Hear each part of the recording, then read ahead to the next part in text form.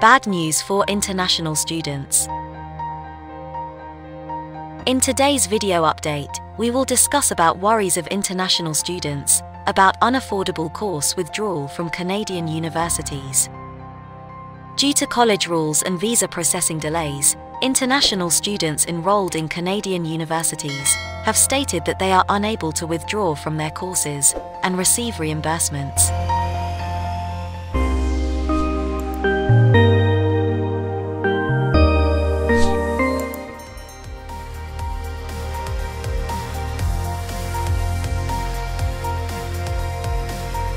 Students utilizing the Fast Track Study Permit, Student Direct Stream were expected to pay for a full year of study upfront, as well as a 10,000 Canadian dollars guaranteed investment certificate as part of their study visa applications. However, some of these students have been waiting for their applications to be processed for an extended length of time, including one who has been waiting since March 2020. A number of students have complained that they are unable to withdraw their applications, reapply, or apply to other countries, since their schools demand an IRCC student visa refusal. If students withdraw without this, their universities withhold huge sums of money, which the students claim they cannot pay.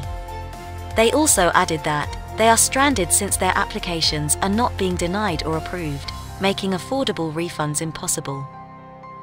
One online student at Hanson College in Ontario said that he has completed two semesters, and if he tried to withdraw, he would not be refunded the fees for two semesters, which is 16,000. He also added that if his visa application is denied, he will be refunded $500 less than the offer letter cost and labor fees. He has submitted his application in October 2020 and have yet to receive an answer from IRCC. According to the student, IRCC is processing more current applications, and his application has been caught in a backlog. The student further explained, so, if I tried to abandon my application and reapply to the same institution to get out of the backlog, I wouldn't get my refund. Other students said that they had been waiting for IRCC to respond to questions about their visa applications for a long period. One student has applied for a student visa to Canada in March 2020, and many students, including him, have been waiting for a long time. He stated that the IRCC is not taking them seriously. They are delivering results to fresh files rather than old files, he added. Another student stated that the visa delays will prohibit him from transferring to another country's college. If my visa is denied, I will receive a refund, but my institution will deduct $250, said the student, who attends Mohawk College in Hamilton, Ontario. However, if I grow tired of waiting and wish to apply in the UK, the US, or any other nation in the globe, they will deduct $2,200 and give me the remaining sum in more than 60 days. When asked if he could afford such a deduction, the student stated that he couldn't and that it would put his family in financial jeopardy. According to a spokesman for the college, Mohawk College has accommodated overseas students who have begun their courses remotely while their visa is being processed from the beginning of the epidemic. They gave material indicating that if a student withdraws prior to the 10th of October, they will only be charged a $250 cost.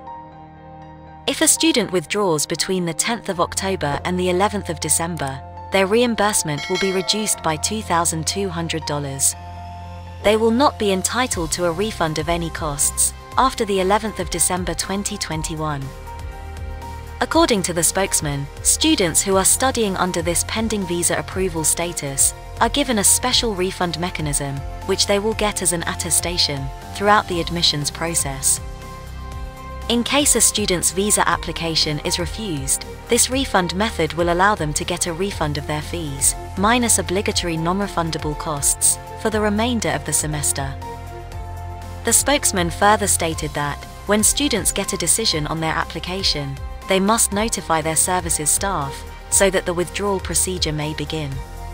Before any reimbursements can be handled, the student must submit further documents, confirming their wish to withdraw.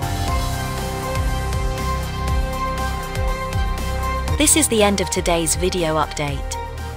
If you found this video update useful, then please hit the like button and press subscribe button, so you don't miss any updates on our channel. Thanks for watching today's video update.